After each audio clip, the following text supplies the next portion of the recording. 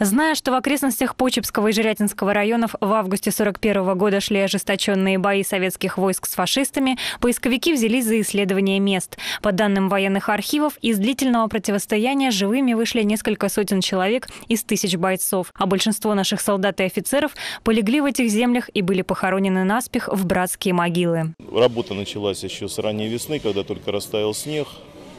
Мы выехали сюда и путем нескольких э, поисковых экспедиций и разведок были найдены данные бойцы. 19 из найденных солдат останутся безымянными. Поисковикам удалось идентифицировать только одного бойца – Ефима Петровича Черкасова. В братской могиле нашли его медальон. Медальон в довольно хорошем состоянии, он читаемый.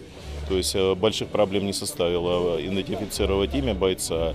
Э, были затрачены усилия, конечно, небольшие на поиск его родственников, но в конечном итоге получилось очень, очень приятно. Мы достигли своего результата. То есть а, боец обрел имя. На погребение в Брянскую область из Тамбовской приехали родственники Черкасова, две племянницы. Женщины привезли с собой землю с родины погибшего. А им брянские поисковики и администрация Почепского района передали личные вещи бойца Черкасова. Медальон-капсулу с запиской, сделанной Ефимом Петровичем. Мать его родная ждала и оплакивала каждый день всегда говорила, Ефимушка, где же ты мой родной?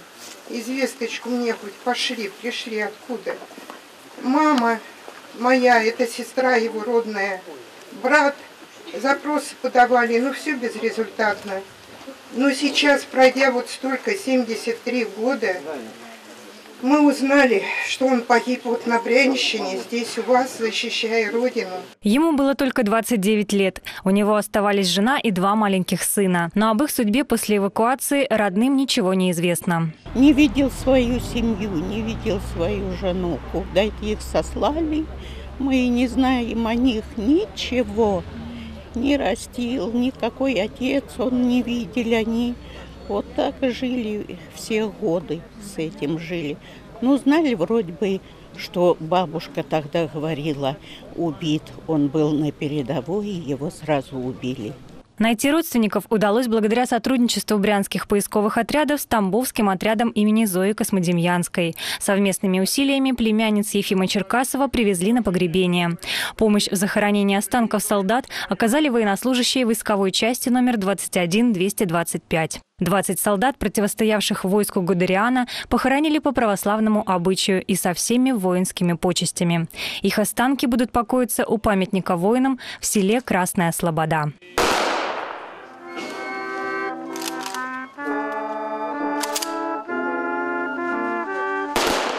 Александра Седачева, Евгений Седачев. События. Почепский район.